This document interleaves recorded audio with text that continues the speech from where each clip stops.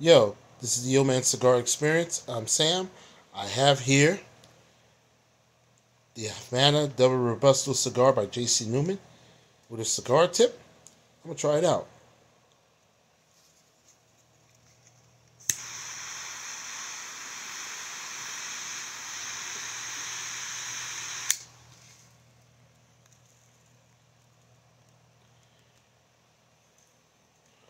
Hmm.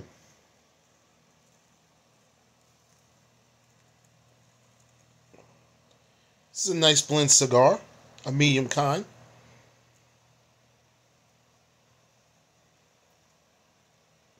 With the cigar tip, I'm getting more more flavor with it. It's got like a little cedar and a little spice in it on it. I put a punch cut in the cigar to get the flow of it.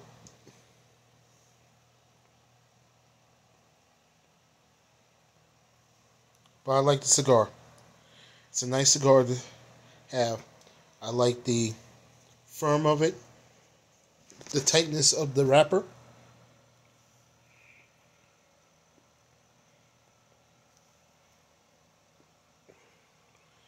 And I love the taste of it.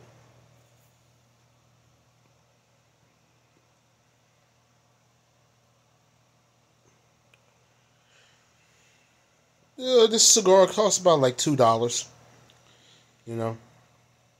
But it's the best ones.